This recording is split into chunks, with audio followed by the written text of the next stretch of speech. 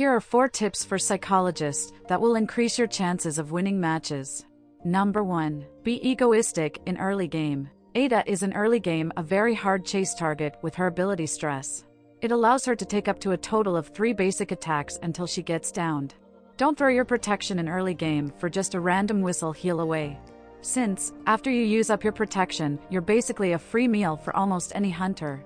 Always remember, the early game decides most of the times the outcome of the game, and if the hunter ends up changing the target to you, and you just threw your protection away, he will have much easier times chasing you than anyone else on the team. Number 2. Your whistle heals are game deciding, but they always come with a price.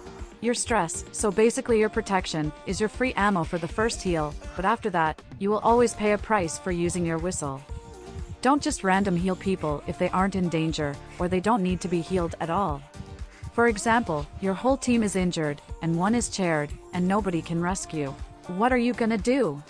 Use the heal on the rescuer, or on the person who has brought tide and haven't used it yet. But here it always depends on the situation if you should heal them or not, so decide for yourself. Oh, and also keep in mind this trait exists. Number 3. Play Ada passive.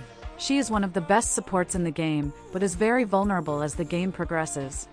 Your job as support is to keep the team alive, and not go for rescues if someone else can. Normally you should carry a kite persona for her, since she is basically a normal survivor just with protection in early game. Without it, she relies completely on her own. But this again always depends on how good your kiting potential is, because if it's really good, then a kiting persona isn't really necessary.